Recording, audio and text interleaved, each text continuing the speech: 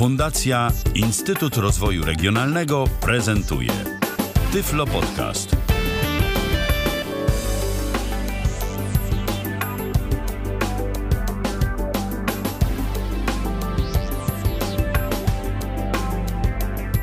Dobry wieczór w kolejnym e, Tyflo Podcaście. Witam serdecznie. Ala Witek. Jak zwykle bardzo się cieszę, że e, zechcieli Państwo spędzić z nami czas y, w trakcie dzisiejszego podcastu. E, dziś audycja e, z właściwie audycji cyklicznych, które zapowiadałam e, w kontekście przedstawiania blogów prowadzonych przez osoby z naszego środowiska, osoby niedowidzące, osoby niewidome i oczywiście też przedstawiania ich sylwetek, ich autorów. E, a mm, Państwa i moim gościem jest dziś Joanna Witkowska. Witaj Joasiu. Witam, dobry wieczór wszystkim. E, dobry wieczór. Bardzo się cieszę, że po raz kolejny zechciałaś przyjąć zaproszenie do mm, podcastu. E, miałyśmy już przyjemność rozmawiać ze sobą zarówno w kontekście publikacji, nad którą pracowałaś w o, na temat psów przewodników e, oraz e, w podcaście dotyczącym e, obsługi i użytkowania Thermomixa. Natomiast dziś porozmawiamy o Tobie i Twoim blogu. Ja mm, bardzo się cieszę, mogąc tutaj wraz z Tobą ten temat poruszyć, dlatego że E, z dużą przyjemnością, rozbawieniem, czasami wzruszeniem, e, irytacją, ogólnie e, z dużym ładunkiem emocjonalnym piszesz swojego bloga i mm, przypuszczam, że innym czytelnikom też. Mi bardzo ten ładunek emocjonalny się udziela. Bardzo podoba mi się i styl, i tematyka, i jakby mm, sposób przedstawiania różnego rodzaju zjawisk, zagadnień. Mam nadzieję, że dzięki dzisiejszemu podcastowi będziemy mogli przybliżyć zarówno Ciebie jako osobę i Twojego bloga naszym słuchaczom.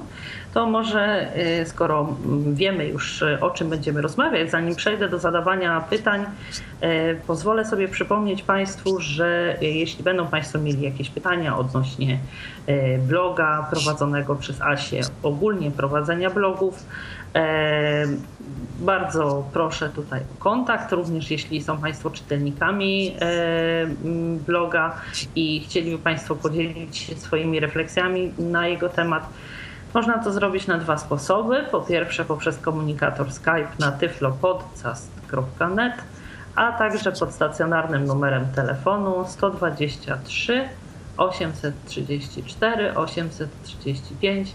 Serdecznie zachęcam Państwa do kontaktu.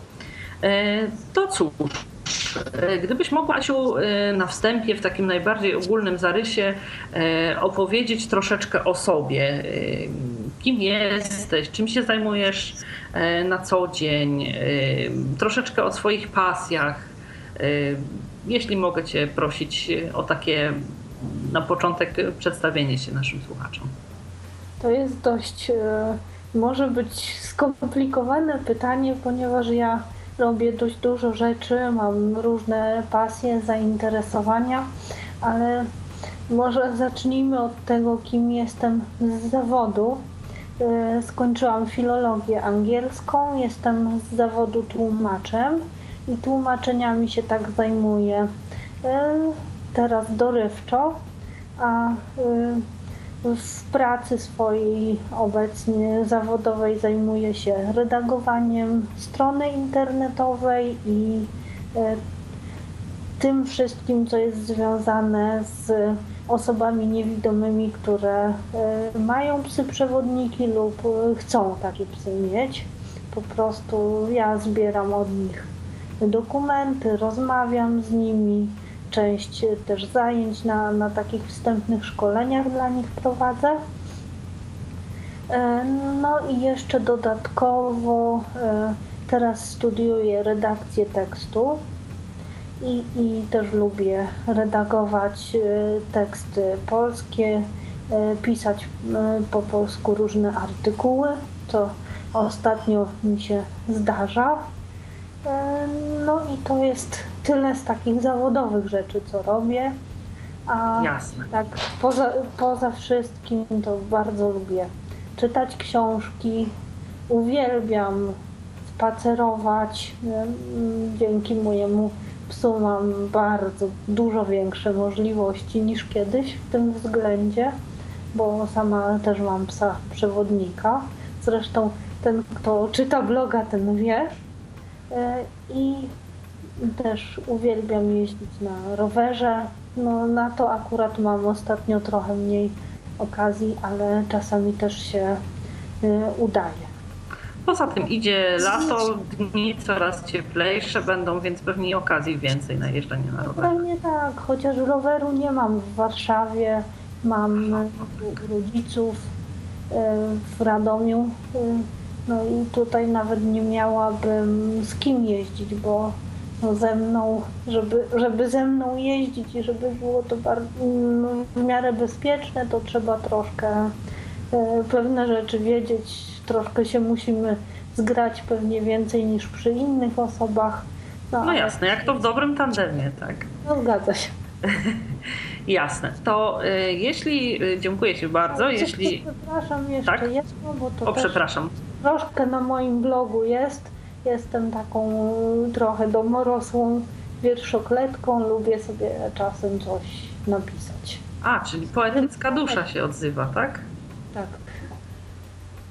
E, świetnie. To y, powiem, że tutaj e, wachlarz e, i zawodowy, i ten składający się na zestaw prywatnych pasji dosyć obszerny i rzeczywiście dość absorbujący, jeśli chodzi o czas. Cóż, zarówno to, czym zawodowo się zajmujesz, oraz też w kontekście Twoich pasji, czytanie książek i E, tutaj e, te wątki, powiedzmy sobie, e, twórcze, poetyckie, wskazują na to, że po drodze ci ze słowem generalnie i w pracy, i w życiu prywatnym, co moim zdaniem znajduje bardzo duże odzwierciedlenie w Twoim blogu, ale też o jego styl zapytam Cię mm, troszeczkę później. E, gdybym mogła Cię e, poprosić o podanie e, dla tych osób, które nie są jeszcze, nie były do tej pory czytelnikami Twojego bloga, jego adresu i gdybyś mogła też jakąś krótką charakterystykę tego bloga, mniej więcej od kiedy go prowadzisz, jaki jest jego format, jakie w takim najbardziej ogólnym zarysie poruszasz tematy. I też o to, gdybyś mogła powiedzieć, e, gdyby kogoś zaciekawiły poszczególne wpisy i chciałby kontynuować e, regularne spotkania z Twoim blogiem, jak można zostać jego subskrybentem? Adres mojego bloga jest troszkę nietypowy, ponieważ nie ma w nim www. Jest to http dwukropek slash slash skrytka witka kropka wordpress pisane przez w i przez 2s.com. Jasne. http y, dwukropek slash slash skrytka witka pisane razem tak. kropka wordpress przez 2s.com, tak? Tak. Niczego nie pomyliłam? Mhm. Nie, niczego. Jasne to y, gdybyś mogła, to może zacznijmy od początku. E, od kiedy prowadzisz Twojego bloga i y, jaka jest właśnie ta jego taka charakterystyka? Tego bloga prowadzę od jesieni 2011 roku. Wcześniej od 2009 roku, bodaj od lipca, prowadziłam bloga na Klango. E, na Klango. Taka była swojego czasu platforma. No ale ponieważ to Klango się miało jakoś ku upadłości i ponieważ ja e, w fundacji Wismajor zostałam redaktorem strony, która była też na, na WordPressie i, i, i nie chciałam się uczyć różnych rzeczy na stronie fundacyjnej, więc e, że się nie dało przenieść treści z Klango, no to zrobiłam kontynuację po prostu tego klangowego bloga na swoim blogu. Trochę tam jest mniej rzeczy oczywiście, bo tamtego bloga pisałam jeszcze będąc w domu, mieszkając z rodzicami i e, pracując w domu. Mając więcej czasu. Miałem tak, tak, tak, dużo więcej czasu i pisałam dużo więcej rzeczy. E, No też pewnie były to inne rzeczy, no bo mniej, mniej, mniej gdzieś, e, Zawodowych jakichś tak, kwestii, tak? mniej, mniej gdzieś sama wychodziłam, mniej miałam takich różnych ciekawych e, przygód, jak to bywało, bywa teraz na przykład. No, więcej miałam czasu na czytanie książek, miałam taką stałą rubrykę z recenzjami książek. No teraz, teraz już nie, nie daję rady, opisuję raczej takie, takie bieżące rzeczy i opisuję głównie rzeczy związane ze mną, z tym, z tym co się u mnie dzieje, co, co się wydarzyło ciekawego, czasami śmiesznego, czasami smutnego, czasami e, piszę o tym, co, co usłyszałam, co, co gdzieś przeczytałam, no, różne, różne takie rzeczy, też o swoich e, osiągnięciach kulinarnych zdarza mi się pisać, bo e, bardzo lubię gotować, a e, no, dość e, dużo różnych ograniczeń muszę po drodze pokonać, żeby pewne rzeczy zrobić, więc no, jak się coś uda, no to miło jest się podzielić. Jak Z sama- radością, tak, i satysfakcją. Jak sama pod sufit z radości wyskakuje, no to niech sobie inni też trochę powyskakują ze mną i niech e, też no, piszę dlatego na przykład takie rzeczy, żeby osoby niewidome em, no, mogły zobaczyć, że coś takiego się da zrobić. e, No i jak się da. Też staram się dzielić takimi swoimi różnymi patentami na mm, wykonanie mm, poszczególnych czynności. E, No i chyba to by było. Aha, i jeszcze, przepraszam, jedna rzecz, taka ważna i stała część mojego bloga, to się nazywa kategoria Zejdźmy na psy. Wiem, że nazwa jest dość przewrotna, ale to, to z premedytacją i specjalnie tak zrobiłam. I tam są wpisy, tam wpisy pisze mój Bryś. Tam e, z jego, z jego perspektywy są różne rzeczy opisywane. Czyli e, ten element Twojego bloga może być e, również ciekawą lekturą dla powiedzmy przyszłych adeptów pracy z psem przewodnikiem. Myślę, myślę, że na pewno im się do czegoś przyda. Y, Może ich zachęcić. Myślę, że raczej, raczej nie zniechęci. A raczej no, mogą, mogą e, pomyśleć, że pies przewodnik to jest e, no, wielka pomoc, ale też e, nie unikam tego, że praca z psem wymaga sporo wysiłku, konsekwencji, no i jest to jednak e, nie tylko przyjemność, ale też obowiązek mieć psa. Jasne. E, Czytając Twojego bloga, e, rzeczywiście odnosi się wrażenie, że jest bardzo staranny nie tylko w treści, ale również w formie. Często czytając różnego rodzaju blogi, mam wrażenie, że e, nawet jeśli ich treść jest wciągająca, to bardzo często e, forma jest taka, e, powiedziałabym, przenośni płaska, że e, jakby mm, autorzy bardzo dużą wagę przywiązują do tego, o czym chcą opowiedzieć, Natomiast e, sposób, w jaki to robią, jest taki może troszeczkę jakby mm, odhumanizowany. Gdzieś w tym stylu brakuje czasami przewrotności, czasami ironii, czasami takiej nutki wzruszenia, która przecież pokazuje taką ludzką twarz autora, chęć wejścia w kontakt też na poziomie emocji z czytelnikiem tego bloga że to nie jest y, na takiej zasadzie, jakby się czytało y, serwis informacyjny albo książkę kucharską, gdzie jest tylko podany y, jakaś wartość informacyjna, gdzie jest też właśnie e, taki e, mm, poprzez właśnie specyficzny styl e, jest też w tym blogu wartość taka mm, w samej jego formie. E, jak udało Ci się wypracować? W Twoim blogu można znaleźć właśnie i ironię, i, i nutkę wzruszenia, i jakieś e, takie mm, bardzo głębokie refleksje e, na różne tematy, czasem nawet i takie egzystencjalne, dotyczące koegzystowania ludzi ze sobą.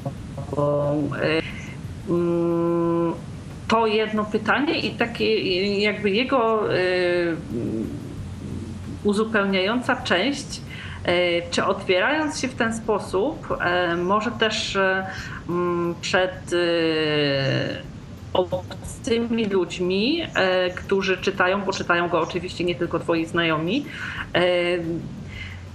jest to jakiś, e, powiedzmy, nie wiem, e, taki zabieg celowy, czy, czy mm, który miałby ewentualnie na celu zacieśnić Twoją więź z czytelnikiem, czy gdzieś zupełnie naturalnie się to dzieje i, i nie jest to jakimś takim specjalnie zaaranżowanym sposobem pisania?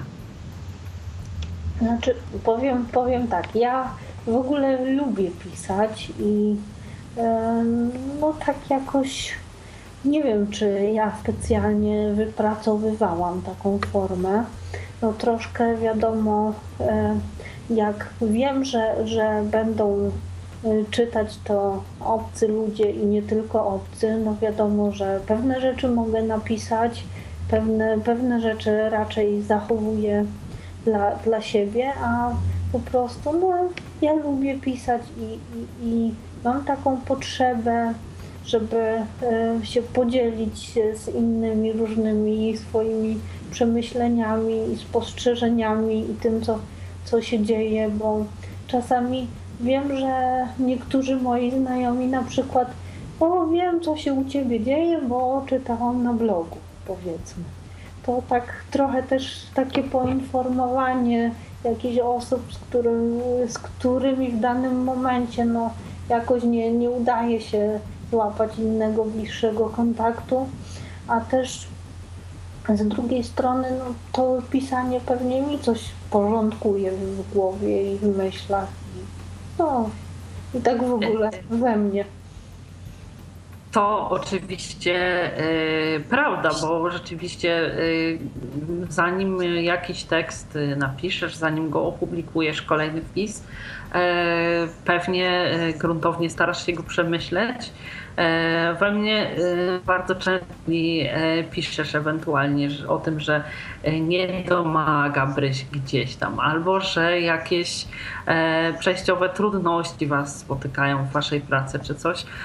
Zawsze ogromnie mnie to porusza, dlatego że właśnie przez ten styl taki otwarty i bardzo osobisty widzę, jak dużo ciepła wkładasz w tą waszą więź.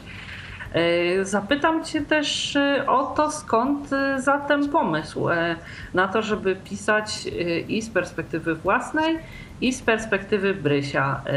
Też może, czy jest w tym jakiś taki założony przez Ciebie cel, czy osobom na przykład, które nie mają styczności z sami przewodnikami, nigdy nie będą z nimi pracowały, przez to też starasz się jakoś tą rzeczywistość właśnie w pracy opiekuna, psa przewodnika e, przybliżyć? E, jak to wygląda? To wszystko się zaczęło od tego, że koleżanka, też blogerka, pisywała z perspektywy swojej świnki morskiej.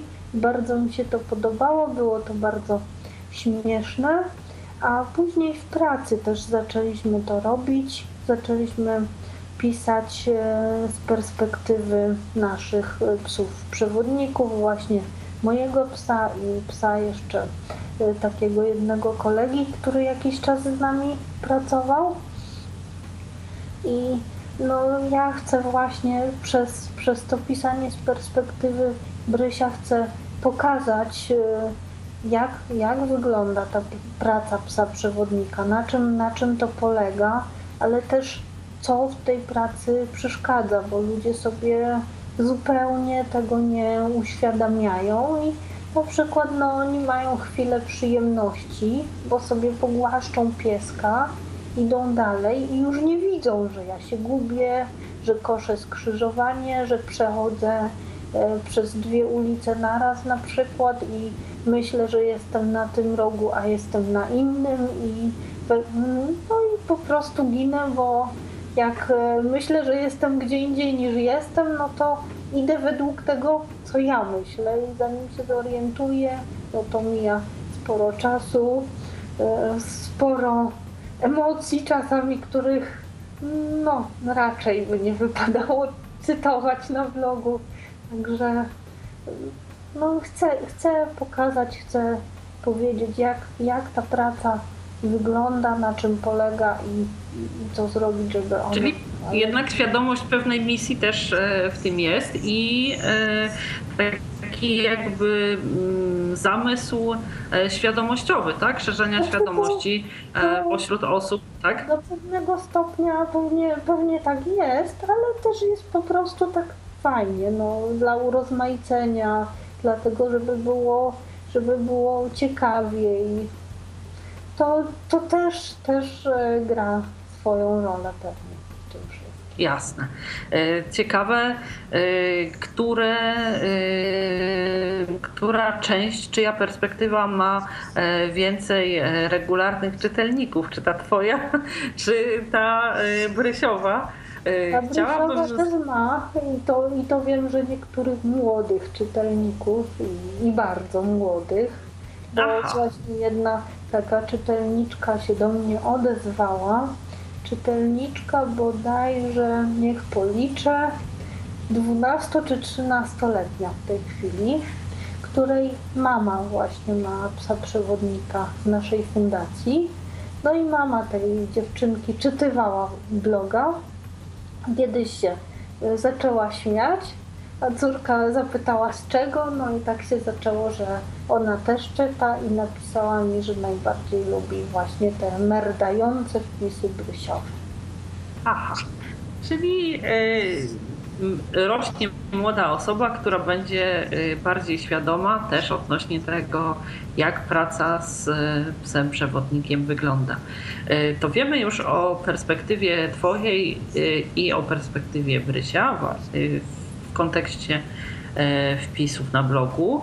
E, chciałabym porozmawiać e, trochę o tematyce już w takim bardziej precyzyjnym zakresie. Jakie tematy na Twoim blogu są dominujące, a jakie poruszasz sporadycznie?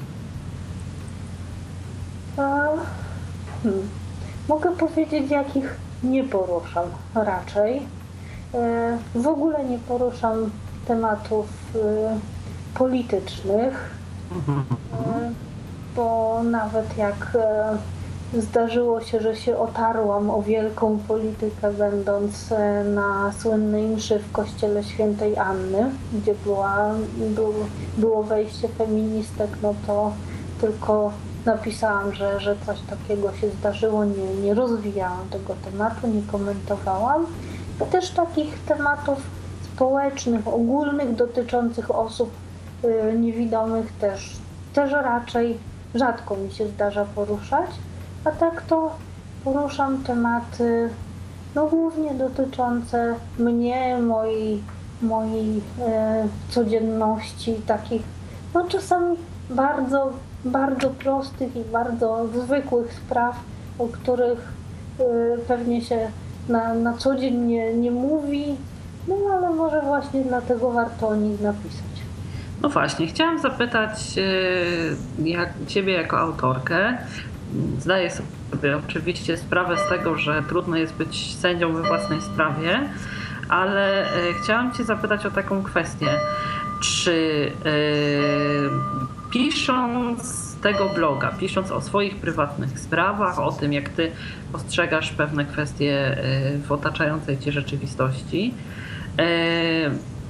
Gdybyś stanęła na w roli czytelnika osoby, która nigdy nie miała do czynienia z ludźmi niewidomymi, i jednocześnie patrząc z punktu widzenia ciebie, twojego jako autorki, E, czy uważasz, że Twój blog w jakiś sposób e, odczarowuje jakieś mity, stereotypy mm, panujące e, w społeczeństwie na temat osób niewidomych?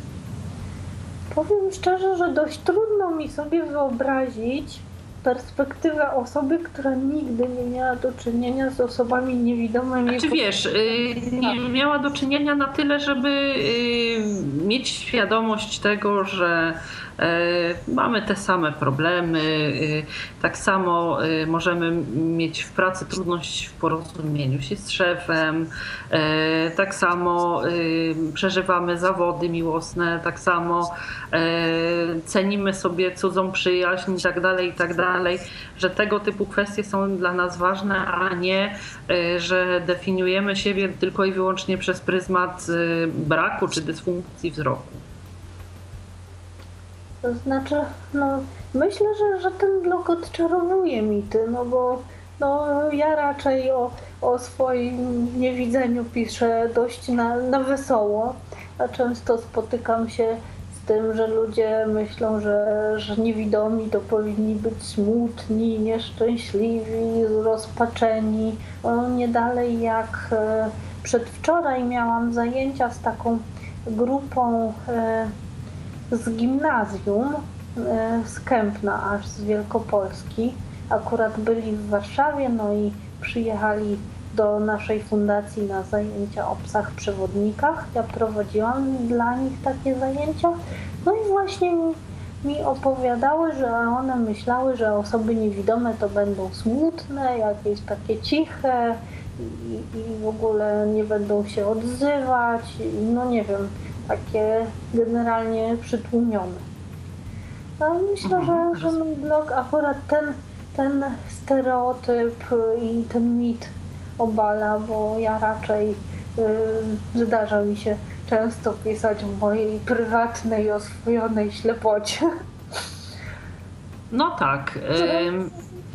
Myślę też, że e, na pewno odczarowujesz e, mit osób niewidomych jako osób mało aktywnych, mało aktywnych e, zawodowo, mało aktywnych w kontekście mobilności, w kontekście orientacji, w kontekście jakichś takich aktywności związanych z rozwijaniem swoich pasji.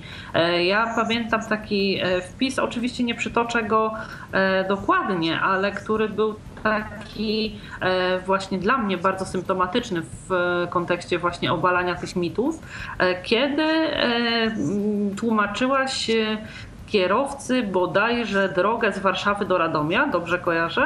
A, tak, tak, było. E, jadąc samochodem mówiłaś, w których miejscach powinien skręcać, e, gdzieś tam, którego zjazdu szukać, tak? Czy dobrze tak. kojarzę? Mhm. I e, dla mnie to e, oczywiście mm, to jakoś tam e, w żaden sposób nie definiuje roli osób niewidomych w społeczeństwie, czy coś takiego, że będziemy odtąd wszyscy świetnymi przewodnikami dla kierowców i tak dalej, ale to był właśnie jeden z tych, z tych wątków takich, które są właśnie, powiedziałabym, z kategorii tych tych najbardziej e, łamiących stereotypy.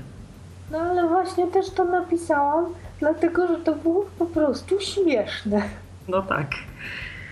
Znaczy śmieszne w sensie, no zabawne. No. Tak, tak. E, to znaczy, to nie jest tak, że ja zakładam, że ty cokolwiek piszesz na swoim blogu z własnej perspektywy, to yy, idzie za tym jakaś ideologia, bo y, oczywiście to jest Twój osobisty blog, opowiada o Tobie jako o człowieku, o tym, e, jak e, postrzegasz otaczający Cię świat i tak dalej, i tak. Natomiast jeśli już e, rozmawiamy w kontekście tego odbioru przez czytelników, to mam nadzieję, że, że właśnie tego typu wpisy bardzo przemawiają też troszkę na naszą korzyść, znaczy bardzo przemawiają na naszą korzyść trochę też jako ogółu osób niewidomych, że właśnie nie jesteśmy takimi ciamajdami, które gdzieś tam po prostu się kręcą i nie wiedzą co dookoła nich, tak? Mam, mam taką nadzieję, ale też myślę, że, że w drugą stronę idąc mój blog obala takiej yy, mit i stereotyp osób niewidomych, takich bohaterów wręcz magicznych, że oni potrafią wszystko, no bo jest, są takie skrajności, że albo się osobę niewidomą tak. nazywa kompletną ciamajdę, albo to jest super bohater, który potrafi wszystko. Mhm. Nie, nie wszystko, nie wszystko potrafię i ja to przyznaję. I, I przyznaję, że moja prywatna oswojona ślepota mnie czasem wkurza, bo rzeczywiście mnie wkurza, ale nie właśnie w ten sposób, jak myślą ludzie widzący, że ojej, bo ja nie mogę zobaczyć czyjejś tam twarzy, albo że nie mogę zobaczyć jakiegoś widoku. No trudno, nie mogę, to nie mogę, mogę go sobie wyobrazić, ale, ale wkurza mnie na przykład, że nie mogę sobie obejrzeć w całości ronda ze słańców syberyjskich. Takie duże rondo jest. No, można by tam w dużo różnych autobusów się przesiadać i fajnie by je było obejrzeć w całości od razu, zrozumieć i ogarnąć, albo skrzyżowania towarowa Okopowa Aleja Solidarności, bo to jest też jakieś takie duże skrzyżowanie, po którym zdarzało mi się chodzić no, po kilka razy w tygodniu, jak Bryś był e, chory, no ale chodziłam z kimś właśnie, z takim człowiekiem, który mi wtedy pomagał. No i jakoś nie, nie zdołałam tego skrzyżowania zrozumieć i chętnie bym sobie na nie rzuciła okiem. No tak, zdecydowanie z takiego czysto praktycznego punktu widzenia yy, yy, widzenie pewnych rzeczy yy, ułatwia sprawę. No ale cóż, masz tutaj Brysia do pomocy, sama jesteś też osobą, której byle przeciwności nie zniechęcają, więc bardzo podoba mi się taki sposób przedstawiania siebie, dlatego że też niejednokrotnie oglądając jakieś reportaże, albo też szczerze mówiąc, czytając czasami jakieś wywiady, czy słuchając E, wywiadów z, teraz już zdarza się to coraz rzadziej, ale jeszcze do niedawna bywały takie sytuacje, że osoby niewidome były e, właśnie przedstawiane i to w trakcie wykonywania takich naprawdę bardzo banalnych czynności, jak nie wiem, przelewanie wody, sznurowanie butów i tak dalej, jako jak, jakieś jednostki ludzkie nadzwyczajne, bo po prostu tak niewiarygodnych rzeczy, jak wytarcie sobie nosa potrafią dokonać bez pomocy, prawda? Więc. No, no tak, to, to właśnie mm, myślę, że y, w takim y, umiarkowanym, sensownym i, i przy tym inteligentnym y, sposobie przedstawiania też przez nas samych siebie tkwi być może klucz do tego, żeby też właśnie społeczeństwo zaczęło postrzegać nas po prostu normalnie. E, mam do ciebie, Asiu, takie pytanie, bo tutaj wspomniałaś o tym też, że nawiązałaś kontakt, e, to znaczy nawiązała kontakt z tobą e, młoda czytelniczka twojego bloga. E, chciałabym, żebyś się zastanowiła nad taką kwestią, czy na przestrzeni tych lat, e, przez które prowadzisz bloga, jakiś wpływ na to, jakiego rodzaju treści się pojawiają, E, mają e, uwagi, pytania, e, podpowiedzi czytelników Twojego bloga? Hmm. Chyba pewnie, pewnie, jakiś, pewnie jakiś wpływ mają, ponieważ no, jeśli, jeśli coś czytelników ciekawi, ja to wyczytam powiedzmy w komentarzach, czy, czy ktoś mi jakoś tam powie w inny sposób, no to, no to ja o tym ja o tym napiszę, no bo uważam, uważam że, że warto. I kiedyś też pamiętam jeden z czytelników, nie wiem czy sporadycznie e, czytywał tego bloga, czy trochę częściej, ale jakoś tak dość często mi się zdarzało, że a na początku wpisów pisałam, że no, znowu nie miałam czasu pisać, znowu dawno nic nie pisałam. A on mówi, no słuchaj, bardzo fajnie się czyta twoje wpisy, ale nie pisz ciągle, że, że dawno nie pisałaś, bo to jest nudne. No więc się troszkę e, hamuje. Czasami to się jeszcze Brysiowi zdarza, ale ja też e, staram się jakoś w miarę regularnie tego bloga prowadzić, bo wiem, że pewne osoby czekają na, na wpisy, lubią go czytać, y, nie wiem, jakąś mają z tego przyjemność, no więc czemu nie? Jasne. Mi też się bardzo fajnie pisze, także no, dlaczego nie, nie zrobić sobie wzajemnie przyjemności? Ależ oczywiście, zwłaszcza, że jak widać e, z Twoich wpisów, zarówno e, Twój świat wewnętrzny, jak i ten E, zewnętrzny, który Cię otacza, na co dzień dostarcza niemało tematów do refleksji i do refleksji, które później owocują właśnie wpisami na najróżniejsze tematy. Chciałabym zapytać Ciebie o taką rzecz.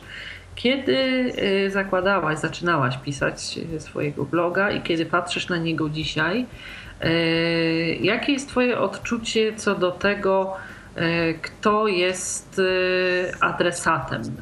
Czy zakładałaś, że na przykład adresatami bloga będzie jakaś konkretna grupa i to się potwierdziło, czy też zupełnie nie spodziewałaś się, że akurat ten, y, ta akurat grupa e, ludzi to będą najczęściej czytelnicy Twojego bloga.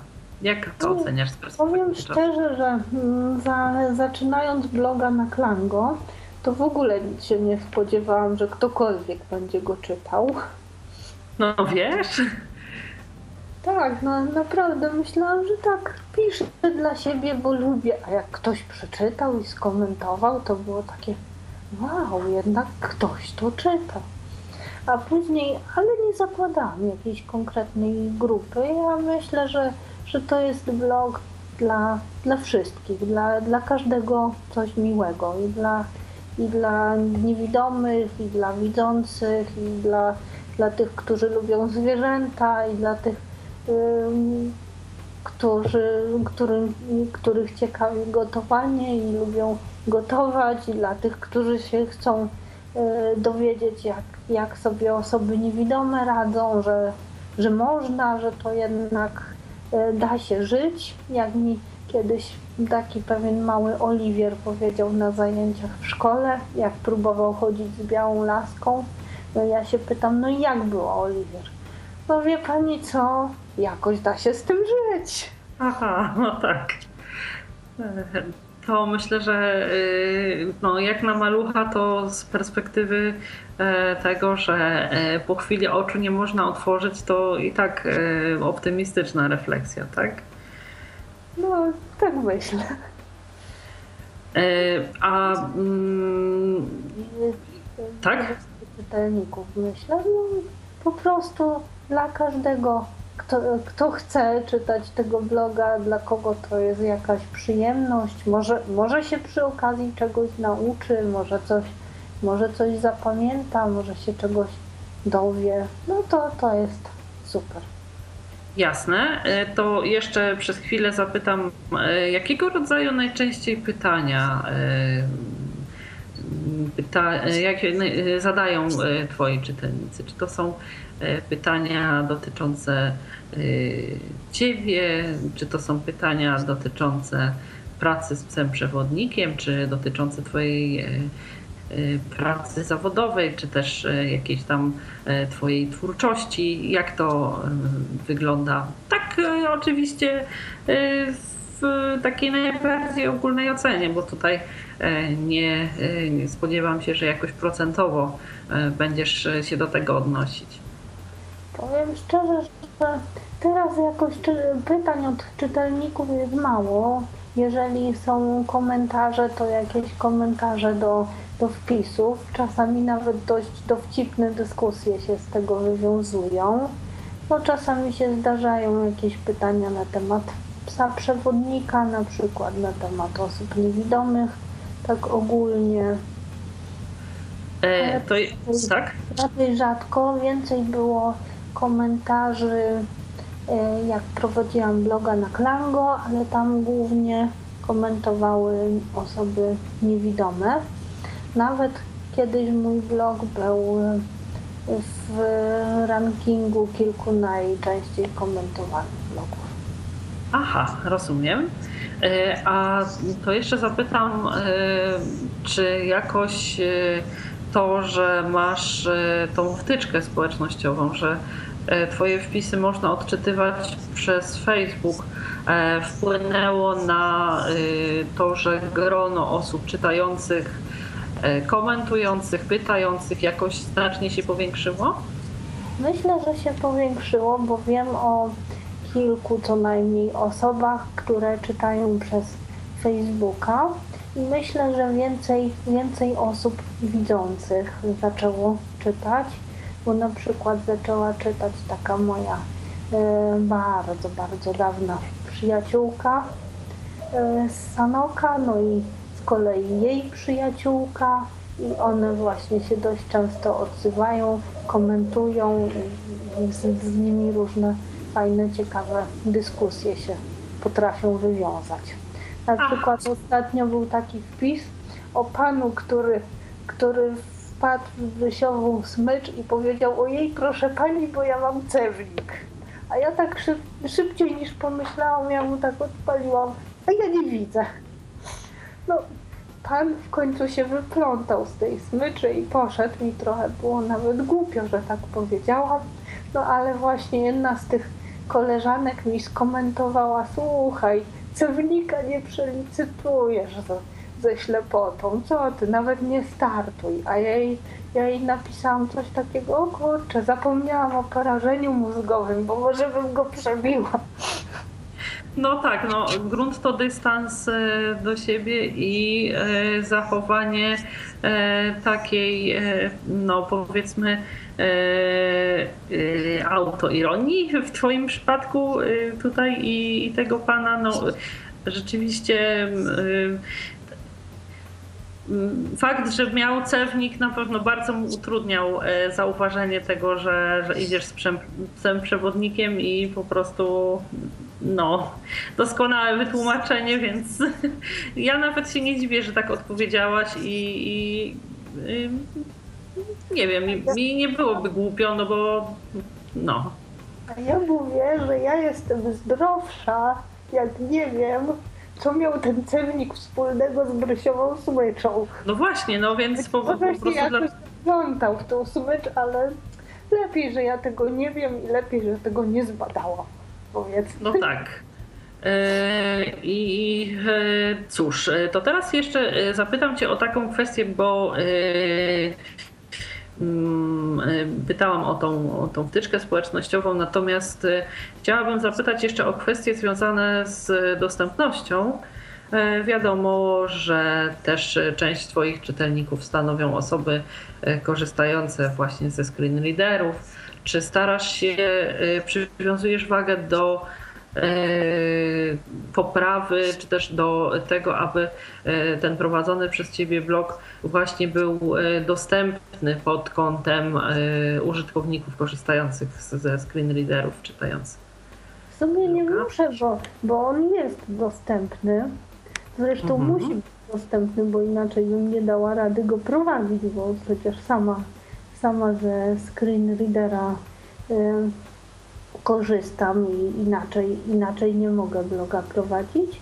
Myślę, że tak w czytaniu to on jest zupełnie dostępny, troszkę tam z panelem administracyjnym czasami bywa różnie, ale ogólnie takie podstawowe rzeczy, dodać nowy wpis, dodać stronę, mm, coś tam skomentować, podlinkować, to wszystko umiem i to wszystko się da z gadaczami zrobić.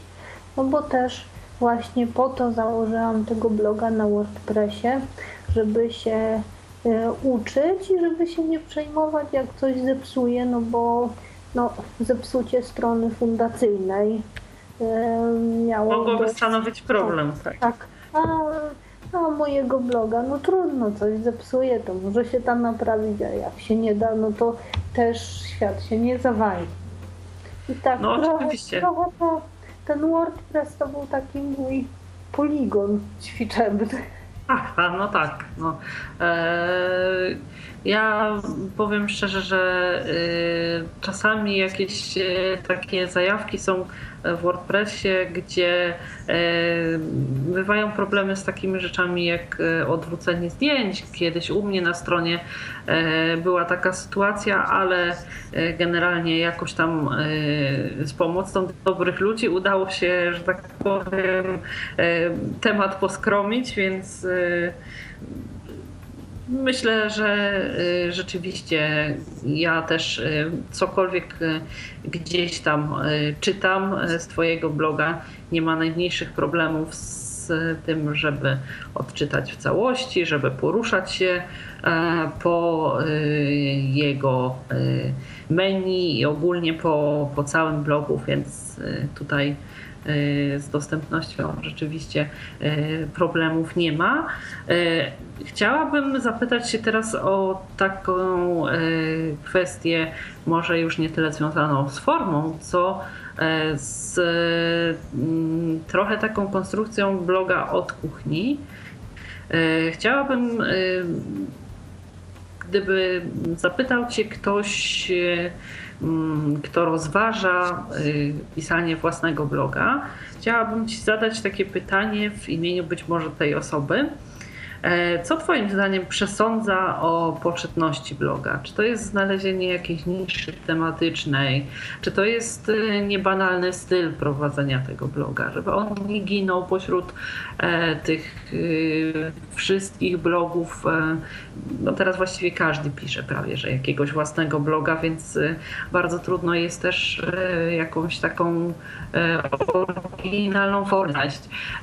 Czy też przesądza o tym tak, wydaje mi się, fundamentalna kwestia, jak regularność wpisów. Mówił tutaj poprzedni gość audycji na temat blogów, Michał Dębiec, który mówił, że ważną kwestią jest to, żeby te wpisy pojawiały się regularnie, bo sam ze swojego doświadczenia pamięta kilka blogów, które były takimi dobrze zapowiadającymi się, tylko że prowadzonymi krótko albo na tyle nieregularnie, że czytelnicy jakby nie mieli nawyku zaglądania tam, gdzieś tam po drodze się jakby zniechęcali tym właśnie, że te wpisy pojawiały się dość nieregularnie. Może jeszcze coś innego Twoim zdaniem jest receptą właśnie na to, aby blog był oryginalny i poczytny? Moim, moim zdaniem to jakaś, jakiś ciekawy temat to jedno, a drugie właśnie jakiś, jakiś fajny, fajny styl, żeby, żeby to się dobrze czytało, żeby nie, nie było to jakieś bardzo, nie wiem, bardzo takim wyszukanym językiem napisane, czy niekoniecznie wyszukanym, ale takim, który się trudno czyta. Który dystansuje czytelnika od autora, tak? No, myślę, że tak, ale też, też może, może być tak, że, że, że, że może być jakaś taka konstrukcja zdania, jakoś tak coś topornie napisane, że, że, Mhm. że się ciężko to czyta. Że jest trudny w odbiorze, tak? no. A rano to coś tam zrobiłem, a później to zjadłem obiad, a potem to coś tam, coś tam. I tak jakoś, no dość to trudne było.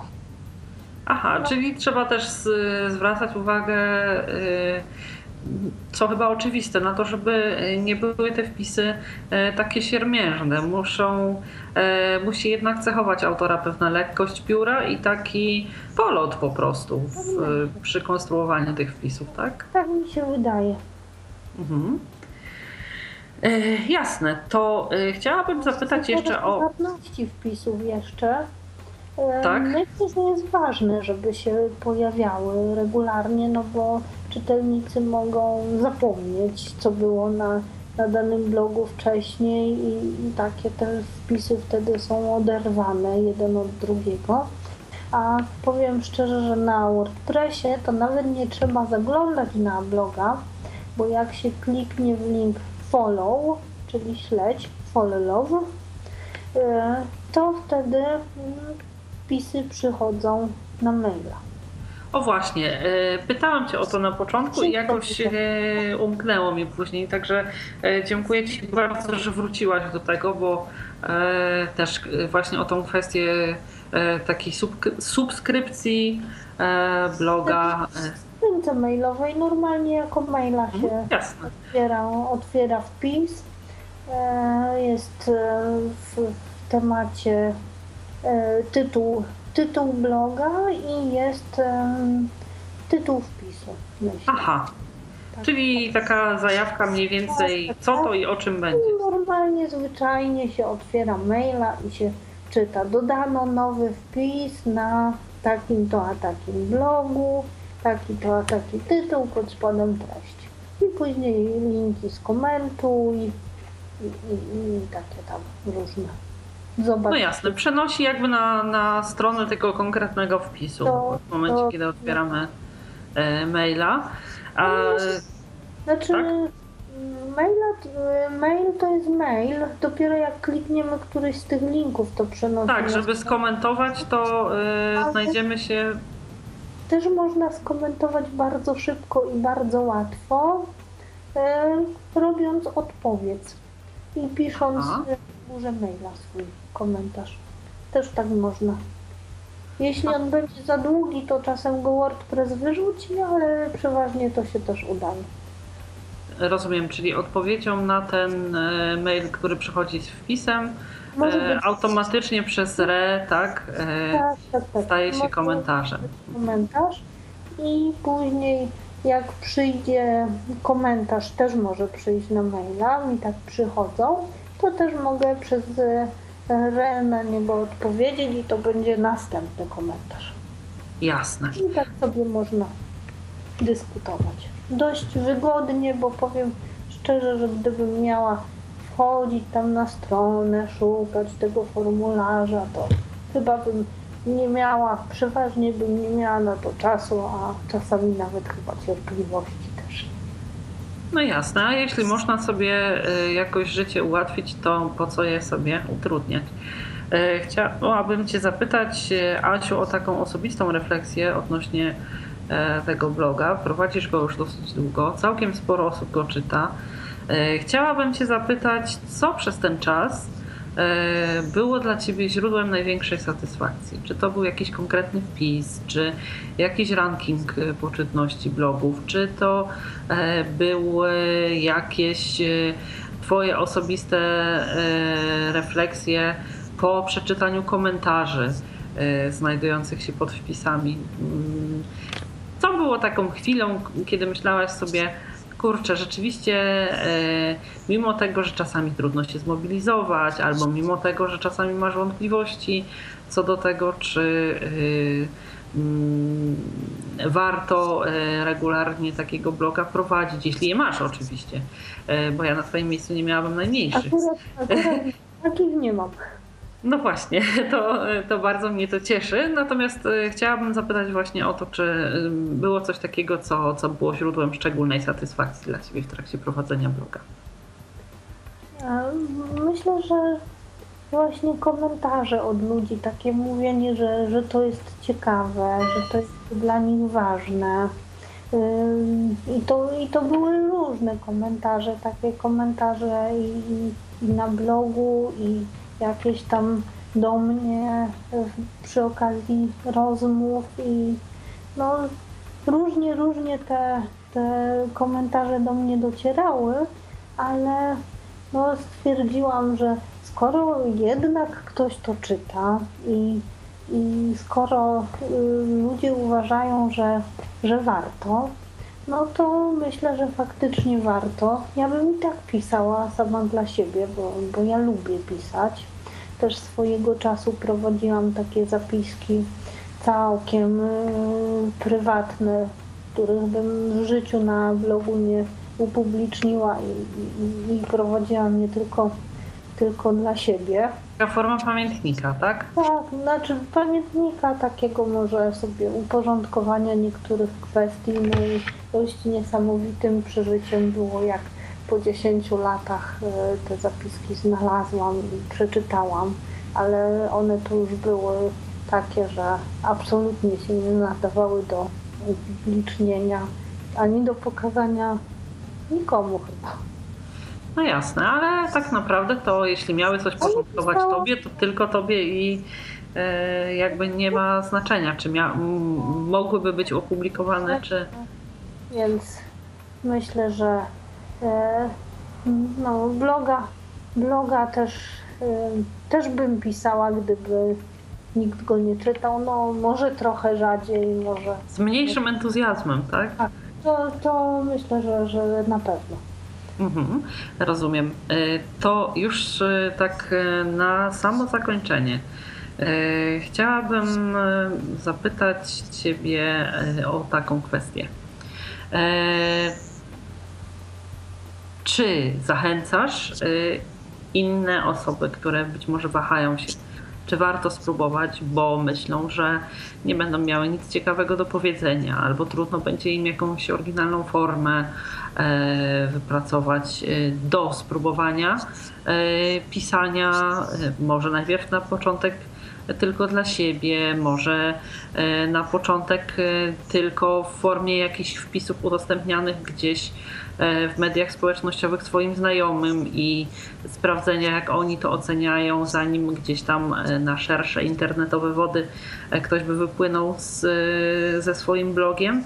I też e, takie, mm, powiedzmy, wskazówki wytrawnego blogera dla takich e, świeżynek, które gdzieś e, pierwsze kroczki dopiero w blogosferze robią. To tutaj na zakończenie taki mm, parę, mam nadzieję, ciepłych słów usłyszeć od Ciebie w kontekście osób, które miałyby ochotę spróbować również prowadzenia własnych blogów. Myślę, że warto spróbować, no bo jak się nie spróbuje, to się nigdy nie wie, że czy się uda, czy się nie uda. Jak się spróbuje, to się może nie udać, no ale może też się udać. A dlatego, dlatego myślę, że, że warto.